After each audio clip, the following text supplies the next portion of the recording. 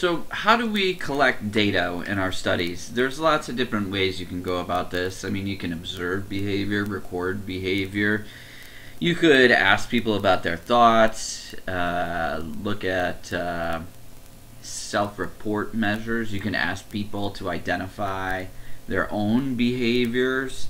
Um, like if you're looking uh, to see how much uh, college students drink, you could just ask them a question How many alcoholic drinks have you had in the past week or 30 days? Something like that. Behavioral measures look at, uh, again, behaviors are overt actions that we can uh, record. We could do direct observation. This is, you might go in, you could uh, watch a student in a classroom. Again, that's a good example. Um, you could watch a rat in a cage, watch how they move around. You might have a camera or like a GPS system that records data. Um, we, there's pill bottles that have uh, caps on them that count how many times you open it to assess like medication compliance. There's all sorts of different things. Naturalistic observations are uh, viewing naturally occurring behaviors without attempting to change or interfere. You can look at archival data. Um, when I did my dissertation, I used archival data. So I took records uh, and I took the information from those records from a child psychology clinic. Um, you could look at birth or death records, weather reports, voting patterns, all sorts of stuff. I mean, you could use medical records. I mean, sometimes it's hard to access that information, sometimes it's very easy. A case study is another type of study, and this is really interesting. A lot of people will kind of uh, reject case studies, but they're really, really important. Um, I think that some of the greatest discoveries come from case studies. Case studies should be uh, used to draw information to develop further intensive studies. Um, so, a couple of neurologists that uh, write about case studies are Oliver Sacks and uh, V.S. Ramachandran. Those are interesting authors if you're interested in this. They'll write intensively about one individual. Sometimes it's a small group of individuals. But that leads to bigger research questions. Now, in the area of research, we talk a lot about ethics. And research ethics are very important. Um, as part of this class, if you're a NOVA student, you might also complete the CITI training instead of research participation. CITI training is all about ethical issues in research. So I don't like you to do that before you go over this chapter. You'll get more out of it. A lot of things have been done in the field of psychology in the research area that are unethical. This is a picture of the Milgram study. You might have heard of this. We'll watch this later, kind of at the end of class in social psychology. But this is a famous study. Stanley Milgram had volunteers come in and they were paired up with a partner and they were supposed to learn wordless. But what they didn't know was that their partner was fake and was a recording. And when their partner would get the wordless wrong, they were instructed to deliver an electrical shock. Some of them would deliver an electrical shock that it was indicated to be fatal. So, uh, why would that be unethical? Well, think about that. And think about the harm that it might do to the individual. And we do, we try to do everything that we can do in our power to reduce harm. We don't want there to be any harm. We want there to be benefits from the research.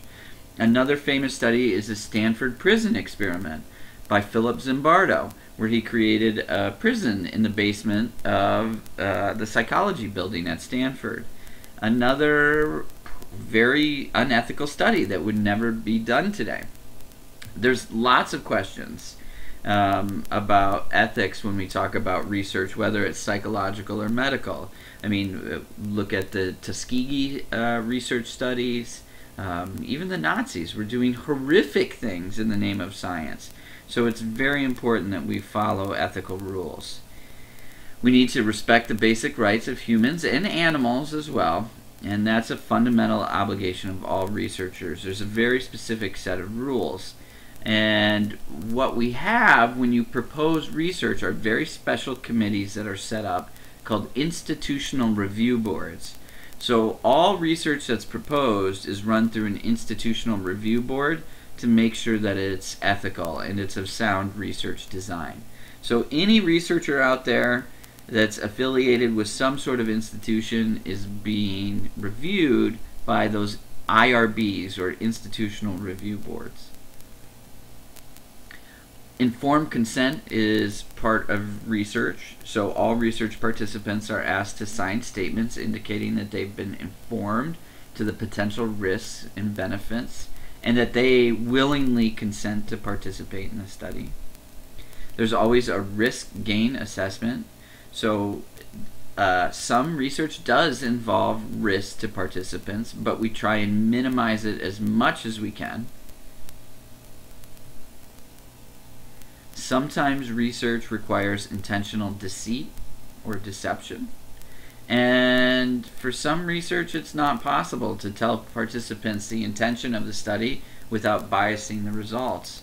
So there's very strict rules for the use of uh, deception created by the American Psychological Association. And then at the end of every study, participants are always debriefed and they're provided with as much information as possible about the study so they understand what they did.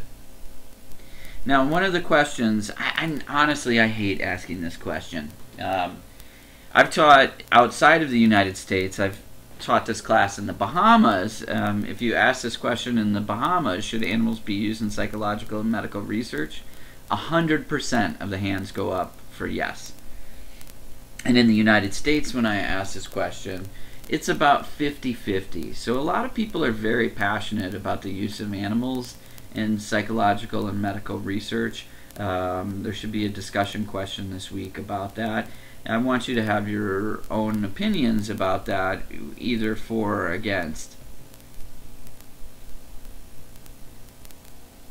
But the end goal of all this is that you learn about research. So you don't just take people's opinions for facts. You learn how to interpret data. You can look at studies that are done in like the newspaper or magazines that are done poorly and understand that. Um, oftentimes you'll be presented with products um, on television, maybe like diet pills or you know uh, products intended to relieve pain. Do they work?